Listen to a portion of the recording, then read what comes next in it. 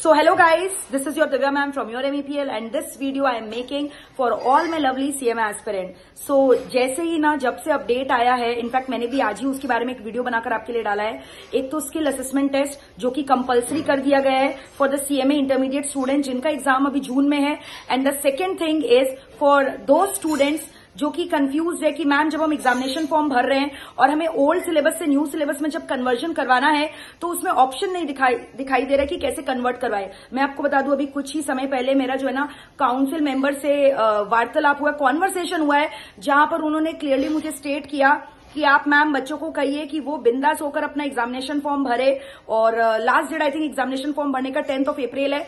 आप अपना examination form भरो, कोई दिक्कत नहीं है।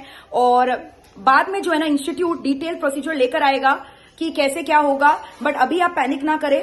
अगर आपने एग्जामिनेशन फॉर्म भर दिया है that is sufficient for the fact कि आप जो एग्ज़ाम्स न्यू सिलेबस में दोगे। तो अगर आप डर रहे हो कि मैम एग्ज़ाम फॉर्म कैसे भरे? आप डरो मत, आप आराम से एग्ज़ाम फॉर्म भरो। You you will be eligible for giving your examination under new syllabus institute is going to take care for that and the second thing is बहुत सारे बच्चे ये भी बोल रहे हैं, क्योंकि मैम स्किल असेसमेंट ट्रेनिंग हमारे लिए कंपल्शन है। अगर हम इंटरमीडिएट का जो एग्ज़ाम है जून ट्वेंटी में बोथ द ग्रुप्स अपियर करेंगे तो मैम उसके रिगार्ड्स हमारे पास अभी तक कोई ईमेल नहीं आया है। टेस्ट कब होगा उसके बारे में भी हमें कुछ नहीं पता। तो उसके लिए भी जो है काउंसिल मेंबर ने स्टेट किया है कि स्किल असेसमेंट ट्रेनिंग कंप्लीट करवाना उनकी ज़िम्मेदारी है।